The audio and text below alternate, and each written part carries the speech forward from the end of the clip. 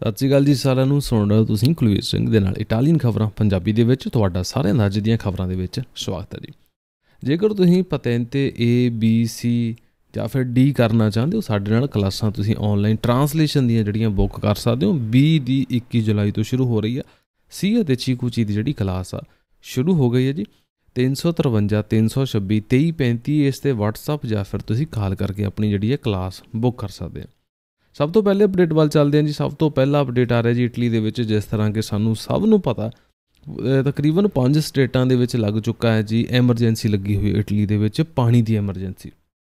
ਜਿਸ ਨਾਲ ਜਿਸ ਦੇ ਕਾਰਨ ਬਹੁਤ ਹੀ ਛੇਤੀ ਇਟਲੀ ਦੇ ਵਿੱਚ ਰੈਸ਼ਨਮੈਂਟੋ ਜਿਹੜਾ ਪਾਣੀ ਨੂੰ, ਪਾਣੀ ਦੀ ਜਿਹੜੀ ਰੋਕ ਲਾ ਦਿੱਤੀ ਜਾਣੀ ਆ। ਕਿ ਅਸੀਂ ਸਵੇਰ ਦੇ ਟਾਈਮ ਕਿੰਨਾ ਪਾਣੀ ਯੂਜ਼ ਕਰ ਸਕਦੇ ਹਾਂ, ਦੁਪਹਿਰ ਦੇ ਟਾਈਮ ਕਿੰਨਾ ਕਰ ਸਕਦੇ ਹਾਂ, ਪਾਣੀ ਬੂਟਿਆਂ ਨੂੰ, ਸ਼ਾਮ ਨੂੰ ਪਾਣਾ ਸਵੇਰ ਨੂੰ ਪਾਣਾ ਹਰ ਕਮੂਨੇ ਪਿੰਡ ਦੇ ਵਿੱਚ ਸਰਪੰਚ ਆਪਣੇ ਹਿਸਾਬ ਦੇ ਨਾਲ ਫਰਮਾਨ ਜਾਰੀ ਕਰ ਰਹੇ ਨੇ। ਪਰ ਅੱਜ ਕੁਛ ਇੱਕ ਵੱਖਰਾ ਹੋ ਜਾਂਦਾ ਜੀ। ਵੱਖਰਾ ਕੀ ਹੋਇਆ ਜੀ? ਕਿ ਜਿਹੜੇ এনवायरमेंटलिस्ट ਨੇ, ਇਹਨਾਂ ਨੇ ਕੋਕੇ ਕੋਲੇ ਦੀ ਜਿਹੜੀ ਫੈਕਟਰੀ ਆ ਵੇਨੇਤੋ ਦੇ ਵਿੱਚ ਇਹਨਾਂ ਦੀ, ਕਿਉਂਕਿ ਵੇਨੇਤੋ ਦੇ ਵਿੱਚ ਸਭ ਤੋਂ ਪਹਿਲਾਂ ਦੱਸਿਆ ਗਿਆ ਕਿ ਪਾਣੀ ਰਾਤ ਦੇ 9 ਵਜੇ ਤੋਂ ਸਵੇਰ ਦੇ 12 ਸਵੇਰ ਦੇ 7 ਵਜੇ ਤੱਕ ਕਿਹੜਾ ਲਾਣਾ ਜਾਂ ਕੀ ਨਹੀਂ ਲਾਣਾ। ਇਹ ਕਹਿੰਦੇ ਆ ਜੀ ਕਿ ਕੋਕੇ ਕੋਲੇ ਦਾ ਜਿਹੜਾ ਪਾਣੀ ਆ ਤਾਂ ਤਕਰੀਬਨ 1500 ਕਰੋੜ ਲੀਟਰ ਪਾਣੀ ਹਰ ਸਾਲ ਇਹ ਵਰਤਦਾ। ਹਰ ਸਾਲ ਕਿੱਥੋਂ ਵਰਤਦਾ ਜੀ, ਉੱਥੇ ਉਹਨਾਂ ਦੇ ਨੇੜੇ ਇੱਕ ਫਾਲਦਾ ਹੈ, ਪਾਣੀ ਦਾ ਅਸੀਂ ਕਹਿ ਸਕਦੇ ਹਾਂ ਕਿ ਉਹਨਾਂ ਨੂੰ ਬੋਰ ਕੀਤਾ ਆ ਇਹ ਇਹਨਾਂ ਦੀ ਫੈਕਟਰੀ ਕੋਕੇ ਕੋਲੇ ਵਾਲਿਆਂ ਦੀ 1500 ਕਰੋੜ ਲੀਟਰ ਹਰ ਸਾਲ ਪਾਣੀ ਚੱਕ ਕੇ ਵੇਸਟ ਕਰਦੀ ਆ ਪਰ ਚੱਕਰ ਇਹ ਆ ਕਹਿੰਦੇ ਕਿ rise up for climate justice ਤੇ ਇਹ ਗੱਲਾਂ ਉਹ ਕਹਿ ਰਹੇ ਸਨ। ਇਹ ਕਹਿ ਰਹੇ ਨੇ ਕਿ ਜਿੱਥੇ ਇੱਕ ਪਾਸੇ ਸਾਨੂੰ ਪ੍ਰਾਈਵੇਟਾਂ ਨੂੰ, ਸਾਨੂੰ ਆਮ ਬੰਦਿਆਂ ਨੂੰ ਹਰ ਰੋਜ਼ ਕਿਹਾ ਜਾ ਰਿਹਾ ਕਿ ਤੁਸੀਂ ਪਾਣੀ ਆਪਣਾ ਘੱਟ ਵਰਤੋ ਘੱਟ ਵਰਤੋ, ਤੁਸੀਂ ਇਸ ਵੇਲੇ ਵਰਤਣਾ, ਇਸ ਵੇਲੇ ਨਹੀਂ ਵਰਤਣਾ, ਉੱਥੇ ਦੂਸਰੇ ਪਾਸੇ ਇਹ ਜਿਹੜੀਆਂ ਫੈਕਟਰੀਆਂ ਨੇ, ਇਹ ਵੱਡੇ ਪੱਧਰ ਤੇ ਜਿਹੜਾ ਸਮਾਨ ਨੂੰ ਖਰਾਬ ਕਰ ਰਹੀਆਂ ਨੇ। ਇਹ ਗੱਲ ਜੀ ਨੋਗਾਰਾ ਦੀ ਪ੍ਰੋਵਿੰਸ ਦੀ ਮਰੋਨਾ ਦੇ ਵਿੱਚ ਜੋ ਪੈ ਰਿਹਾ ਜੀ, ਉੱਥੇ ਪੁਲਿਸ ਅਤੇ ਭੀੜ ਦੇ ਵਿੱਚ ਮੁੱਤਪੇੜ ਹੋਈ ਹੈ, ਜੋ ਕਿ ਤੁਸੀਂ ਆਪ ਸਕਰੀਨ ਤੇ ਵੀ ਦੇਖ ਸਕਦੇ ਹੋ। 1500 ਕਰੋੜ ਪਾਣੀ ਸਿਰਫ ਕੋਕਾ ਕੋਲਾ ਵਾਲੇ ਵਰਤ ਰਹੇ ਨੇ, ਵਰਤ ਰਹੇ ਨੇ ਜਾਂ ਫਿਰ ਅਸੀਂ ਕਹਿ ਸਕਦੇ ਹਾਂ ਖਰਾਬ ਕਰ ਰਹੇ ਨੇ। ਅਗਲੇ ਅਪਡੇਟ ਵੱਲ ਵਧਦੇ ਹਾਂ ਜੀ। ਰਸ਼ੀਆ ਤੇ ਯੂਕਰੇਨ ਦੀ ਲੜਾਈ ਤੋਂ ਬਾਅਦ ਸਾਨੂੰ ਸਭ ਨੂੰ ਪਤਾ ਕਿ ਰੇਟ ਸਾਰੇ ਪਾਸੇ ਵੱਧ ਗਿਆ ਰਸ਼ੀਆ ਕਹਿ ਰਿਹਾ ਕਿ, ਰਸ਼ੀਆ ਇਹ ਕਹਿ ਰਿਹਾ ਜੀ ਕਿ ਅਮਰੀਕਾ ਲੜਾਈ ਨੂੰ ਅੱਗੇ ਵਧਾਉਣਾ ਚਾਹੁੰਦਾ। ਉਧਰ ਹੀ ਸਾਰੇ ਪਾਸੇ ਰੇਟ ਵੱਧ ਰਹੇ ਤੇ ਰਸ਼ੀਆ ਨੂੰ ਵੀ ਫਾਇਦਾ ਹੀ ਆ। ਹੁਣ ਇਸ ਟਾਈਮ ਗੈਸ ਬੰਦ ਹੋਣ ਦਾ ਖਤਰਾ ਜੀ, ਦਿਨ ਸੋਮਵਾਰ ਨੂੰ ਦੁਬਾਰਾ ਮੀਟਿੰਗ ਆ। ਤੇ ਉਸ ਮੀਟਿੰਗ ਦੇ ਹਿਸਾਬ ਦੇ ਨਾਲ ਦੱਸਿਆ ਜਾ ਰਿਹਾ ਕਿ ਜਿਹੜਾ ਰਸ਼ੀਆ ਨੇ ਸੋਮਵਾਰ ਨੂੰ ਗੈਸ ਦਾ ਜਿਹੜਾ ਪਾਈਪ ਆ ਬੰਦ ਕਰ ਦੇਣਾ, ਜਿਹੜਾ ਜਰਮਨ ਵਾਲੀ ਸਾਈਡ ਨੂੰ ਜਾ ਰਿਹਾ। ਪਰ ਇਸ ਟਾਈਮ ਉਹਨਾਂ ਨੇ ਦੱਸਿਆ ਕਿ ਜਿਹੜਾ ਬੰਦ ਕਰਨਾ ਪੈਪ 10 ਦਿਨਾਂ ਦੇ ਲਈ ਬੰਦ ਕਰਨਾ, ਕਿਉਂਕਿ ਇਹ ਨਾਰਮਲੀ ਹਰ ਸਾਲ ਜਿਹੜਾ ਮੇਨਟੇਨੈਂਸ ਲਈ ਜਿਹੜਾ ਬੰਦ ਕੀਤਾ ਜਾਂਦਾ। ਦਿਨ ਸੋਮਵਾਰ ਤੋਂ ਲੈ ਕੇ 10 ਦਿਨ ਇਹਨਾਂ ਨੇ ਜਿਹੜੇ ਆ ਬੰਦ ਰੱਖਣੇ ਆ ਮੇਨਟੇਨੈਂਸ ਦੇ ਕਾਰਨ। ਪਰ ਉਹ ਕਹਿ ਰਹੇ ਨੇ ਕਿ ਜਰਮਨ ਵਾਲਿਆਂ ਦਾ ਇਹ ਕਹਿਣਾ, ਇਹ ਜਿਹੜੇ 10 ਦਿਨ ਇਹਨਾਂ ਨੇ ਇਹਨਾਂ ਦਿਨਾਂ ਦੇ ਵਿੱਚ ਬੰਦ ਕਰਨਾ, ਕਿਉਂਕਿ ਪਹਿਲਾਂ ਹੀ ਇਹਨਾਂ ਨੇ ਜਿਹੜੀ ਆ ਗੈਸ ਕਾਫੀ ਹੱਦ ਤੱਕ ਆ ਜਿਹੜੀ ਘਟਾਈ ਹੋਈ ਆ। ਜਰਮਨ ਵੱਲ ਨੂੰ ਜਿਹੜੀ ਗੈਸ ਜਾਂਦੀ ਹੈ, ਕਾਫੀ ਹੱਦ ਤੱਕ ਘਟਾਈ ਹੋਈ ਹੈ। ਉੱਥੇ ਹੀ ਇਹ ਇੱਕ ਵਾਰ ਫੇਰ ਗੈਸ ਦੇ ਜਿਹੜੇ ਪੈਪ ਨੇ ਬੰਦ ਕਰ ਦਿੰਦੇ ਆ ਤਾਂ ਇਹਨਾਂ ਨੂੰ ਜਰਮਨ ਨੂੰ ਜਿਹੜਾ ਬਹੁਤ ਵੱਡਾ ਜਿਹੜਾ ਝਟਕਾ ਪੈਣਾ। ਅਗਲੇ ਅਪਡੇਟ ਵੱਲ ਚੱਲਦੇ ਹਾਂ ਜੀ। ਅਗਲਾ ਅਪਡੇਟ ਆ ਰਿਹਾ ਜੀ ਆਪਣਾ, ਜਿਸ ਟਾਈਮ ਘਰਾਂ ਦੇ ਵਿੱਚ ਕਿਸੇ ਦੇ ਕੋਲ ਵੀ ਕੱਪੜੇ ਹੁੰਦੇ ਆ, ਕੱਪੜੇ ਹੋਣ ਜ਼ਿਆਦਾ ਹੋਣ ਘੱਟ ਹੋਣ, ਜਦੋਂ ਆਪਾਂ ਕੱਪੜੇ ਨਹੀਂ ਪਾਉਂਦੇ, ਅਲਮਾਰੀ ਦੇ ਵਿੱਚ ਪਏ ਨੇ, ਸਿੱਟਣ ਦੇ ਨਾਲੋਂ, ਕੂੜੇ ਦੇ ਵਿੱਚ ਸਿੱਟਣ ਦੇ ਨਾਲੋਂ ਕਦੇ ਨਾ ਕਦੇ ਬੰਦੇ ਦੇ ਮਨ ਦੇ ਵਿੱਚ ਇਹ ਖਿਆਲ ਜ਼ਰੂਰ ਆ ਜਾਂਦਾ। ਕਿ ਇਹ ਕੱਪੜੇ ਨਵੇਂ ਜਾਂ ਖਰਾਬ ਨਹੀਂ ਹੋਏ, ਅੱਜ ਮੈਂ ਨਹੀਂ ਪਾਉਂਦਾ ਤਾਂ ਕੱਲ ਸ਼ਾਇਦ ਕਿਸੇ ਹੋਰ ਬੰਦੇ ਦੇ ਇਹ ਕੰਮ ਆ ਸਕਦੇ ਆ। ਕਿਉਂ ਨਾ ਇਦਾਂ ਕੀਤਾ ਜਾਵੇ, ਇਹਨਾਂ ਨੂੰ ਸਿੱਟਣ ਦੇਗਾ ਸਿੱਟਣ ਦੀ ਜਗ੍ਹਾ ਇਹਨਾਂ ਨੂੰ ਡੋਨੇਟ ਕਰ ਦਿੱਤਾ ਜਾਵੇ। ਇਸ ਤਰ੍ਹਾਂ ਦੇ ਜਿਹੜੇ ਕੰਮ ਆ, ਬੰਦਾ ਫਿਰ ਸੋਚਦਾ, ਨੇਕ ਕੰਮ ਦੇ ਵਿੱਚ ਦੇਰੀ ਵੀ ਦੇਰੀ ਵੀ ਕਿਉਂ ਕਰਨੀ ਆ, ਜਦੋਂ ਉਹ ਡੋਨੇਸ਼ਨ ਵਾਲਾ ਡਰਮ ਆ, ਉਹ ਡੋਨੇਸ਼ਨ ਵਾਲਾ ਜਿਹੜਾ ਢੋਲ ਆ ਘਰ ਦੇ ਨੇੜੇ ਤੇੜੇ ਹੀ ਪਿਆ ਹੋ ਜਾਂ ਫਿਰ ਘਰ ਦੇ ਸਾਹਮਣੇ ਹੀ ਹੋਵੇ। ਪਰ ਕਦੇ-ਕਦੇ ਨੇਕੀ ਕਰਨ ਦੇ ਚੱਕਰ ਦੇ ਵਿੱਚ ਬੰਦੇ ਨੂੰ ਲੱਗ ਜਾਂਦਾ ਜੀ। ਠੋਕੂ ਇਦਾਂ ਦਾ ਹੀ ਕੁਝ ਇਦਾਂ ਦੀ ਹੀ ਇੱਕ ਘਟਨਾ ਇਟਲੀ ਦੇ ਸ਼ਹਿਰ ਕਪਨੋਰੀ ਦੇ ਵਿੱਚ ਵਾਪਰੀ ਹੈ, ਜੋ ਕਿ ਪ੍ਰੋਵਿੰਸ਼ੀਆ ਲੂਕਾ ਦੇ ਵਿੱਚ ਆ। ਇੱਥੇ ਇੱਕ ਕਪਲ ਆ, ਇੱਕ ਮੀਆਂ ਬੀਬੀ ਦੀ ਜੋੜੀ, ਜਿਹਨੇ ਆਪਣੇ ਕੱਪੜੇ ਡੋਨੇਟ ਕਰਨ ਦੇ ਬਾਰੇ ਸੋਚਿਆ ਤੇ ਡੋਨੇਟ ਕਰਨ ਦੇ ਲਈ ਜਿਹੜਾ ਢੋਲ ਘਰ ਦੇ ਸਾਹਮਣੇ ਆ, ਉਹਦੇ ਕੋਲ ਗਏ ਡੋਨੇਟ ਜਦੋਂ ਕੀਤੇ ਤਾਂ ਇਹਨਾਂ ਨੂੰ 3.5 ਤਕਰੀਬਨ 350 ਯੂਰੋ ਦਾ ਜੁਰਮਾਨਾ ਹੈ 315 ਯੂਰੋ ਤੇ 60 ਸੈਂਟ ਦਾ ਇਹਨਾਂ ਨੂੰ ਜੁਰਮਾਨਾ ਘਰ ਪਹੁੰਚ ਗਿਆ ਲਵ ਲੈਟਰ ਹੁਣ ਇਹ ਜਿਹੜਾ ਜੁਰਮਾਨਾ ਆਉਣ ਦਾ ਕਾਰਨ ਕੀ ਸੀਗਾ? ਹੁਣ ਤੁਸੀਂ ਸੋਚਦੇ ਹੋਣੇ ਕਿ ਇਹਨਾਂ ਨੇ ਜੁਰਮਾਨਾ ਕਿਹੜੇ ਗੱਲ ਦਾ ਹੋਇਆ, ਕੀ ਇਹਨਾਂ ਨੂੰ ਜੁਰਮਾਨਾ ਕੱਪੜੇ ਡੋਨੇਟ ਕਰਨ ਦਾ ਆਇਆ ਕਿ ਕੱਪੜੇ ਪੁਰਾਣੇ ਡੋਨੇਟ ਕਰਤੇ? ਨਹੀਂ ਜੀ। ਜੁਰਮਾਨਾ ਇਹਨਾਂ ਨੂੰ ਇਸ ਗੱਲ ਦਾ ਹੋਇਆ ਕਿਉਂਕਿ ਇਹਨਾਂ ਨੇ ਕੱਪੜੇ ਜਿਹੜਾ ਕੋਲ ਡਰਮ ਢੋਲ ਪਿਆ ਸੀ, ਇਹਨਾਂ ਨੇ ਉਹਦੇ ਵਿੱਚ ਨਹੀਂ ਪਾਏ, ਉਹਦੇ ਕੋਲ ਰੱਖ ਦਿੱਤੇ। ਹੁਣ ਜੇਕਰ ਇਟਾਲੀਅਨ ਕਾਨੂੰਨ ਦੇ ਹਿਸਾਬ ਦੇ ਨਾਲ ਦੇਖਿਆ ਜਾਵੇ, ਜਦੋਂ ਇਹਨਾਂ ਨੇ ਢੋਲ ਦੇ ਵਿੱਚ ਨਹੀਂ ਪਾਏ, ਢੋਲ ਦੇ ਕੋਲ ਰੱਖੇ, ਤੇ ਇੱਕ ਪਬਲਿਕ ਪ੍ਰਾਪਰਟੀ ਸੀ ਉੱਥੇ ਇਹਨਾਂ ਨੇ ਗੰਦ ਪਾਇਆ। ਸਰਕਾਰੀ ਜ਼ਮੀਨ ਦੇ ਉੱਤੇ ਇਹਨਾਂ ਨੇ ਗੰਦ ਪਾਇਆ, ਜਿਸ ਦਾ ਇਹਨਾਂ ਨੂੰ ਜੁਰਮਾਨਾ ਹੋਇਆ। ਇਹਨਾਂ ਨੇ ਜੋੜੀ ਨੇ ਬਹੁਤ ਸਮਝਾਉਣ ਦੀ ਕੋਸ਼ਿਸ਼ ਕੀਤੀ, ਜਦੋਂ ਉਹਨਾਂ ਨੂੰ ਜੁਰਮਾਨਾ ਕਰਕੇ ਗਏ। ਕਮੁੰਨੇ ਵਾਲੇ, ਉਹਨਾਂ ਨੇ ਇੱਕ ਨਹੀਂ ਗੱਲ ਸੁਣੀ। ਕਹਿੰਦੇ ਜੀ, ਤੁਸੀਂ ਉੱਥੇ ਨਹੀਂ ਰੱਖਣੇ ਸੀਗੇ। 315 ਯੂਰੋ ਤੇ 60 ਸੈਂਟ ਇਹਨਾਂ ਨੂੰ ਦੇਣੇ ਪੈਣੇ ਹੁਣ ਗੱਲ ਇਦਾਂ ਹੁੰਦੀ ਹੈ ਜੀ, ਇਹਨਾਂ ਨੂੰ, ਇਹਨਾਂ ਨੇ ਪੁੰਨ ਵੀ ਕੀਤਾ ਤੇ ਇਹਨਾਂ ਨੂੰ ਫਲੀਆਂ ਵੀ ਮਿਲ ਗਈਆਂ ਤੇ ਜਿਹੜੀਆਂ ਫਲੀਆਂ ਨੇ, ਉਹ ਵੀ ਇਹਨਾਂ ਨੂੰ 350 ਰੁਪਏ ਦੇ ਵਿੱਚ ਪੈ ਗਈਆਂ ਨੇ। ਬਾਕੀ ਰਹਿੰਦੀ ਜ਼ਿੰਦਗੀ ਤੱਕ ਸਾਨੂੰ ਨਹੀਂ ਲੱਗਦਾ ਕਿ ਇਹ ਦੁਬਾਰਾ ਆਪਣੇ ਕੱਪੜੇ ਡੋਨੇਟ ਕਰਨਗੇ। ਤੁਸੀਂ ਕੀ ਸੋਚਦੇ ਹੋ? ਕੱਪੜੇ ਡੋਨੇਟ ਕਰਨਗੇ ਜਾਂ ਨਹੀਂ? ਕਮੈਂਟ ਕਰਕੇ ਜਰੂਰ ਦੱਸਿਓ।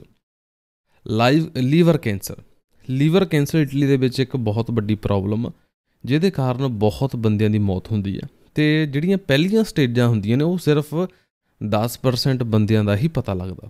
ਜੇਕਰ ਅਸੀਂ ਡਾਟੇ ਦੀ ਗੱਲ ਕਰਦੇ ਹਾਂ, ਜੇਕਰ ਡਾਟੇ ਦੀ ਗੱਲ ਕਰੀਏ ਤਾਂ 2020 ਦੇ ਵਿੱਚ, ਇਟਲੀ ਦੇ ਵਿੱਚ 13000 ਲੀਵਰ ਕੈਂਸਰ ਦਾ ਪੇਸ਼ੈਂਟ ਸੀਗਾ, ਜਿਨ੍ਹਾਂ ਦੇ ਵਿੱਚੋਂ 11 9100 ਜਿਹੜਾ ਬੰਦਾ ਸੀ, ਉਹਨਾਂ ਨੂੰ ਹਾਈਪੇਟਾਈਟਸ ਬੀ ਤੇ ਹਾਈਪੇਟਾਈਟਸ ਸੀ ਸੀ, ਅਤੇ ਜਿਹੜੇ ਬਾਕੀ ਸੀਗੇ, ਉਹਨਾਂ ਨੂੰ ਜਿਹੜੇ ਹੋਰ ਲੀਵਰ ਦੇ ਰੋਗ ਸਨ।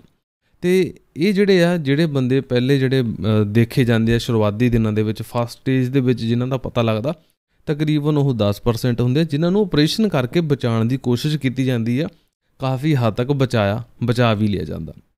ਪਰ ਇਹ ਵੀ ਦੱਸਿਆ ਜਾ ਰਿਹਾ, ਜੋ ਇਸ ਟਾਈਮ ਡਾਟਾ ਉਸ ਹਿਸਾਬ ਦੇ ਨਾਲ ਕਿ ਸਿਰਫ 20% ਬੰਦੇ ਹੀ ਜਿਨ੍ਹਾਂ ਦਾ ਲੀਵਰ ਕੈਂਸਰ ਬਾਰੇ ਜਿਨ੍ਹਾਂ ਦਾ ਪਤਾ ਲੱਗਦਾ ਆ ਉਹਨਾਂ ਤੋਂ 5 ਸਾਲ ਤੱਕ ਜੀਂਦੇ ਰਹਿੰਦੇ ਆ। ਮਤਲਬ ਜਿਨ੍ਹਾਂ ਦਾ ਪਹਿਲੀ ਸਟੇਟ ਤੋਂ ਬਾਅਦ ਪਤਾ ਲੱਗਾ, ਉਹਨਾਂ ਚੋਂ ਸਿਰਫ 20% ਬੰਦੇ ਹੀ 5 ਸਾਲ ਤੱਕ ਜੀਂਦੇ ਰਹਿੰਦੇ ਆ। ਤਕਰੀਬਨ 5 ਸਾਲਾਂ ਦੇ ਵਿੱਚ ਵਿੱਚ ਉਹਨਾਂ ਦੀ ਮੌਤ ਹੋ ਜਾਂਦੀ, ਕਿਉਂਕਿ ਜਿਹੜਾ ਸਟੇਜ ਜ਼ਿਆਦਾ ਹੁੰਦੀ ਆ, ਉਸ ਵੇਲੇ ਪਤਾ ਲੱਗਦਾ।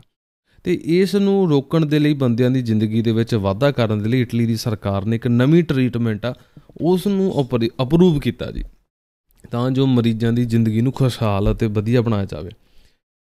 ਇਟਲੀ ਦੀ ਜਿਹੜੀ ਕੰਪਨੀ ਹੈ, ਜੇ ਅਸੀਂ ਗੱਲ ਕਰੀਏ ਜੀ ਆਇਫਾ, ਜੋ ਕਿ ਏਜੰਸੀ ਹੈ ਇਟਾਲੀਆਨਾ ਦੇ ਫਾਰਮੋ ਕੋ ਇਟਲੀ ਦੀ ਜਿਹੜੀ ਹਰ ਇੱਕ ਦਵਾਈ ਨੂੰ ਅਪਰੂਵ ਕਰਦੀ ਹੈ ਉਹਨਾਂ ਨੇ ਅਤੇਜ਼ੋ ਲੀਜ਼ੂਮਾਵ ਨਾਂ ਦੀ ਇੱਕ ਮੈਡੀਸਿਨ ਨੂੰ ਅਪਰੂਵ ਕੀਤਾ। ਜਿਸ ਜਿਸ ਮੈਡੀਸਿਨ ਨੂੰ 501 ਬੰਦਿਆਂ ਦੇ ਗਰੁੱਪ ਦੇ ਵਿੱਚ 150 ਤੇ ਅਜ਼ਮਾਇਆ ਗਿਆ। 8 ਤੋਂ 8 ਮਹੀਨਿਆਂ ਬਾਅਦ ਪਤਾ ਲੱਗਾ ਕਿ 42% ਇਹ ਬੰਦਿਆਂ ਦੇ ਜੀਣ ਦੇ ਜਿਹੜੇ ਟਾਈਮ ਨੂੰ, ਸਮੇਂ ਨੂੰ ਵਧਾ ਦਿੰਦੀ ਸੀ। ਪਾਦੇ ਅਗਲੇ ਅਪਡੇਟ ਵੱਲ। ਸਟੂਡੈਂਟਾਂ ਸਟੂਡੈਂਟਾਂ ਦੇ ਲਈ ਬਹੁਤ ਹੀ ਇੱਕ ਵਧੀਆ ਖੁਸ਼ਖਬਰੀ ਆਈ ਹੈ ਜੀ। ਸਰਕਾਰ ਨੇ ਦੱਸਿਆ ਜੀ ਕਿ ਹੁਣ ਸਟੂਡੈਂਟ ਸਤੰਬਰ 2022 ਤੋਂ ਦੋ ਦੋ ਪਰ ਕੋਰਸ ਸੀ ਦੋ ਦੋ ਡਿਗਰੀਆਂ ਇੱਕੋ ਵਾਰ ਸਟਾਰਟ ਕਰ ਸਕਦੇ ਆ। ਬਿਲਕੁਲ ਸਹੀ ਸੁਣਿਆ। ਡਾਕਟਰ ਵੀ ਇੱਕੋ ਵਾਰ 'ਚ ਬਣ ਸਕਦੇ ਆ, ਵਕੀਲ ਵੀ ਇੱਕੋ ਵਾਰ ਹੀ ਬਣ ਸਕਦੇ ਆ। ਮਾਰਚ, ਅਪ੍ਰੈਲ ਦੇ ਵਿੱਚ ਨਵੇਂ ਕਾਨੂੰਨ ਜੋ ਪਾਸ ਹੋਏ ਨੇ, ਉਹਨਾਂ ਦੇ ਹਿਸਾਬ ਦੇ ਨਾਲ ਜੇਕਰ ਹੁਣ ਕਿਸੇ ਨੇ ਲਾਉਰਿਆ ਕਰਨਾ ਹੋਵੇ ਜਿਹੜੀ ਡਿਗਰੀ ਜੇ ਕਿਸੇ ਨੇ ਪ੍ਰਾਪਤ ਕਰਨੀ ਹੋਵੇ ਤਾਂ ਦੋ ਦੋ ਅਲੱਗ-ਅਲੱਗ ਪ੍ਰੋਫੈਸ਼ਨਲ ਦੇ ਵਿੱਚ ਇੱਕ ਟਾਈਮ ਦੇ ਵਿੱਚ ਹੀ ਲਿਖ ਸਕਦਾ। ਅਗਲੇ ਅਪਡੇਟ ਵੱਲ ਚੱਲਦੇ ਹਾਂ ਜੀ। ਕੀ ਤੁਸੀਂ ਛੁੱਟੀਆਂ ਮਨਾਉਣ ਬਾਰੇ ਸੋਚ ਰਹੇ ਹੋ? ਇਟਲੀ ਤੋਂ ਬਾਹਰ ਜਾਣ ਬਾਰੇ ਸੋਚ ਰਹੇ ਹੋ? ਤੁਹਾਨੂੰ ਪਤਾ ਕਿ ਇਟਲੀ ਦੇ ਵਿੱਚ ਇੱਕ ਵਾਰ ਫੇਰ ਸਟ੍ਰਾਈਕ ਹੋਣ ਵਾਲੀ ਹੈ ਪਲੇਨਾਂ ਦੀ। ਤਾਂ ਦੇਖੋ ਜੀ। ਫਲਾਈਟ ਮਹਿਕਮਾ ਇੱਕ ਵਾਰ ਫੇਰ ਜਿਹੜਾ ਸਟ੍ਰਾਈਕ ਕਰਨ ਲੱਗਾ ਜੀ। ਜੇਕਰ ਤੁਸੀਂ ਇਟਲੀ ਤੋਂ ਬਾਹਰ ਕਿਸੇ ਪਾਸੇ ਘੁੰਮਣ ਦੀ ਸਕੀਮ ਬਣਾ ਰਹੇ ਹੋ, ਤਾਂ ਇਸ ਤਰੀਕ ਨੂੰ ਚੰਗੀ ਤਰ੍ਹਾਂ ਨੋਟ ਕਰ ਲਿਓ, ਕਿਉਂਕਿ ਉਸ ਦਿਨ ਇਸ ਕੰਪਨੀ ਦੀ ਜਿਹੜੀ ਫਲਾਈਟ ਨਹੀਂ ਚੱਲਣੀ, ਇਸ ਕੰਪਨੀ ਦਾ ਨਾਮ ਆ ਰਾਇਨਏਅਰ ਰਾਇਨਏਅਰ ਵਾਲੇ ਕਹਿ ਰਹੇ ਨੇ ਕਿ 27 ਜੂਨ ਨੂੰ ਅਸੀਂ ਸਟ੍ਰਾਈਕ ਕਰਨੀ ਹੈ ਸਟ੍ਰਾਈਕ ਇਹਨਾਂ ਨੇ ਪਹਿਲਾਂ ਵੀ ਜੂਨ ਦੇ ਮਹੀਨੇ 'ਚ ਵੀ ਕੀਤੀ, ਹੁਣ ਇਹਨਾਂ ਨੇ ਜੁਲਾਈ ਨੂੰ ਕਰਨੀ 17 ਜੁਲਾਈ ਨੂੰ ਇਹਨਾਂ ਨੇ ਸਟ੍ਰਾਈਕ ਕਰਨੀ ਆ। ਇਹ ਸਟ੍ਰਾਈਕ ਦਾ ਮੇਨ ਕਾਰਨ ਇਹ ਦੱਸਿਆ ਜਾ ਰਿਹਾ ਕਿ ਜਿਹੜੀਆਂ ਤਨਖਾਹਾਂ ਦੇ ਵਿੱਚ ਕਟੌਤੀ ਹੈ ਜਿਹੜੀ ਕਰਨ ਲੱਗੇ ਨੇ। ਜਿੱਥੇ ਇੱਕ ਪਾਸੇ ਰਸ਼ੀਆ ਤੇ ਯੂਕਰੇਨ ਦੇ ਵਾਰ ਦੇ ਕਾਰਨ, ਲੜਾਈ ਦੇ ਕਾਰਨ ਸਾਰੇ ਪਾਸੇ ਰੇਟ ਤਕਰੀਬਨ ਤਕਰੀਬਨ ਡਬਲ ਹੋ ਗਏ ਨੇ, ਇਹ ਮਾਮੇ ਹੀਰ ਦੇ ਜਿਹੜੇ ਆ, ਤਨਖਾਹਾਂ ਘਟਾ ਰਹੇ ਨੇ। ਤੁਸੀਂ ਇਹਦੇ ਬਾਰੇ ਕੀ ਸੋਚਦੇ ਹੋ ਕਿ ਰਾਏ ਨੇ ਦਾ ਜੋ ਸਟਾਫ ਹੈ ਉਹ ਸਹੀ ਕਰ ਰਿਹਾ ਕਿ ਉਹਨਾਂ ਨੂੰ ਇਹਨਾਂ ਦੇ ਥੱਲੇ ਰਹਿਣਾ ਹੀ ਚਾਹੀਦਾ ਇਦਾਂ ਧੱਕਾ ਜੋ ਇਹਨਾਂ ਦੇ ਨਾਲ ਹੋ ਰਿਹਾ, ਸ਼ੋਸ਼ਣ ਜੋ ਹੋ ਰਿਹਾ, ਇੱਕ ਸ਼ੋਸ਼ਣ ਦੇ ਇਲਾਵਾ ਖਿਲਾਫ ਉਹਨਾਂ ਨੂੰ ਆਵਾਜ਼ ਨਹੀਂ ਚੱਕਣੀ ਚਾਹੀਦੀ। ਕਮੈਂਟ ਕਰਕੇ ਜਰੂਰ ਦੱਸਿਓ। ਵੈਸੇ ਜਿਹੜੀ ਫਲਾਈਟਾਂ ਦੀ ਸਟ੍ਰਾਈਕ ਆ, ਦੁਪਹਿਰ 2 ਵਜੇ ਤੋਂ ਲੈ ਕੇ ਸ਼ਾਮ ਦੇ 6 ਵਜੇ ਤੱਕ ਹੋਣੀ ਹੈ ਗੱਲ ਕਰਦੇ ਹਾਂ ਜੀ ਅਗਲੇ ਅਪਡੇਟ ਵੱਲ। ਸਪੇਸੀਆ ਦੀਆਂ ਸੜਕਾਂ ਦੇ ਵਿੱਚ ਸਪੇਸੀਆ ਦੀਆਂ ਸੜਕਾਂ ਦੇ ਉੱਤੇ ਹੋਇਆ ਇੱਕ ਕਤਲ। ਇਹ ਕਤਲ ਕਰਨ ਵਾਲਾ ਕੋਈ ਹੋਰ ਨਹੀਂ, ਮ੍ਰਿਤਕ ਦਾ ਹੀ ਪਤੀ ਸੀ। ਇਹ ਜਿਹੜਾ ਕਤਲ ਇੱਕ ਬੱਸ ਦੇ ਵਿੱਚ ਹੋਇਆ, ਘਰ ਵਾਲੇ ਤੇ ਘਰ ਵਾਲੀ ਐਕਸ ਘਰ ਵਾਲਾ ਤੇ ਘਰ ਵਾਲੀ ਦੀ ਜਿਹੜੀ ਲੜਾਈ ਹੁੰਦੀ ਹੈ ਮ੍ਰਿਤਕ ਜੋ ਹੈ ਇਸ ਟਾਈਮ ਲੜਾਈ ਹੁੰਦੀ ਆ, ਆਪਣੇ ਘਰ ਵਾਲੇ ਤੋਂ ਬਚਦੀ, ਵਜਾਂਦੀ, ਦੌੜਦੀ, ਭੱਜਦੀ, ਇੱਕ ਬੱਸ ਲਾਗੇ ਖੜੀ ਹੁੰਦੀ, ਉਹਦੇ ਵਿੱਚ ਜਾ ਕੇ ਲੁੱਕ ਜਾਂਦੀ ਆ, ਪਰ ਬੰਦਾ ਕੋਲ ਸੀਗਾ, ਹੋਣੀ ਉਹਦੇ ਨਾਲ ਸੀਗੀ, ਉਸ ਔਰਤ ਦੇ ਤੇ ਚਾਕੂ ਦੇ ਨਾਲ ਵਾਰ ਕਰਦਾ ਤੇ ਉਸ ਔਰਤ ਨੂੰ ਉੱਥੇ ਹੀ ਮਾਰ ਦਿੰਦਾ। ਜਿੰਨੀਆਂ ਬੱਸ ਦੇ ਵਿੱਚ ਸਵਾਰੀਆਂ ਸਨ, ਸਾਰੀਆਂ ਪਹਿਲੀਆਂ ਸਹਿਮੀਆਂ ਸਨ ਕਿ ਚਾਕੂ ਇਹਦੇ ਹੱਥ 'ਚ ਕਿਤੇ ਸਾਡਾ ਸਾਡਾ ਵੀ ਕੰਮ ਤਮਾਮ ਨਾ ਕਰਦੇ ਪਰ ਪੁਲਿਸ ਨੂੰ ਫੋਨ ਕੀਤਾ ਜਾਂਦਾ, ਇਸ ਬੰਦੇ ਨੂੰ ਗ੍ਰਿਫਤਾਰ ਕਰ ਲਿਆ ਜਾਂਦਾ। ਪਰ ਗ੍ਰਿਫਤਾਰ ਕਰਕੇ ਵੀ ਕੀ ਫਾਇਦਾ? ਹੁਣ ਉਹ ਔਰਤ ਤਾਂ ਇਸ ਦੁਨੀਆ ਤੇ ਨਹੀਂ ਰਹੀ। ਲਾਸਟਲੀ ਅਪਡੇਟ ਵੱਲ ਚੱਲਦੇ ਆ ਇਟਲੀ ਦੇ ਵਿੱਚ ਸਮੁੰਦਰੀ ਰਸਤੇ ਜਿੰਨੇ ਵੀ ਬੰਦੇ ਆਉਂਦੇ ਆ, ਜ਼ਿਆਦਾਤਰ ਅਸੀਂ ਗੱਲ ਕਰ ਰਹੇ ਹਾਂ, ਸਾਰਿਆਂ ਦੀ ਨਹੀਂ, ਜ਼ਿਆਦਾਤਰ ਜਿਹੜੇ ਅਲੱਗ-ਅਲੱਗ ਇਟਲੀ ਦੇ ਸੀ ਸਾਈਡਾਂ ਨੇ, ਅਲੱਗ-ਅਲੱਗ ਕੰਢੇ ਨੇ, ਸਮੁੰਦਰੀ ਕੰਢੇ ਨੇ, ਜਿਹੜੇ ਲੰਪੇਦੂਜ਼ਾ ਵਾਲੀ ਸਾਈਡ ਤੇ ਆਉਂਦੇ ਨੇ। ਲੰਪੇਦੂਜ਼ਾ ਵਾਲੀ ਸਾਈਡ ਤੇ ਜਿਹੜੇ ਆਉਂਦੇ ਆ, ਤਾਂ ਉੱਥੇ ਹੌਟ ਬਣੀਆਂ ਹੋਈਆਂ ਨੇ, ਉੱਥੇ ਅਸੀਂ ਇਹਨਾਂ ਨੂੰ ਕਹਿ ਸਕਦੇ ਕੈਂਪ ਬਣੇ ਹੋਏ ਨੇ, ਜਿਨ੍ਹਾਂ ਦੇ ਵਿੱਚ ਬੰਦਿਆਂ ਨੂੰ ਰੱਖਿਆ ਜਾਂਦਾ।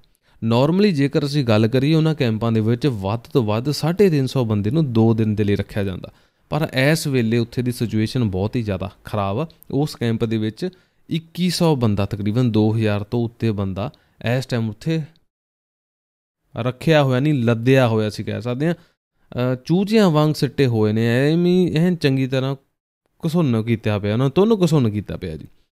ਤੇ ਉਹਨਾਂ ਨੂੰ ਥੱਲੇ ਕਾਰਟੂਨ ਵਿਛਾ ਕੇ ਦਿੱਤੇ ਹੋਏ ਜਿੱਥੇ ਉਹ ਭੁੰਜੇ ਹੀ ਸੌਂਦੇ ਨੇ। ਜਿੱਥੇ ਤੱਕ ਕਿ ਉਹਨਾਂ ਦੇ ਲਈ ਕੋਈ ਬਾਥਰੂਮ, ਟਾਇਲਟ ਦਾ ਵੀ ਇੰਤਜ਼ਾਮ ਨਹੀਂ ਹੈਗਾ, ਜਿਹੜੀਆਂ ਵੀ ਉਹਨਾਂ ਨੂੰ ਸਰੀਰਕ ਪ੍ਰਕਿਰਿਆਵਾਂ ਕਰਨੀਆਂ ਪੈਂਦੀਆਂ ਨੇ ਕਿਰਿਆਵਾਂ, ਉਹ ਵੀ ਉਹਨਾਂ ਨੂੰ ਸੜਕ ਤੇ ਜਾਂ ਕੰਧਾਂ ਦੇ ਨਾਲ ਖੜ ਕੇ ਕਰਨੀਆਂ ਪੈਂਦੀਆਂ ਨੇ, ਜਿਨ੍ਹਾਂ ਦੇ ਨਾਲ ਉਹ ਹੋਰ ਵੀ ਜ਼ਿਆਦਾ ਗੰਦ ਪਾਉਂਦੇ ਆ।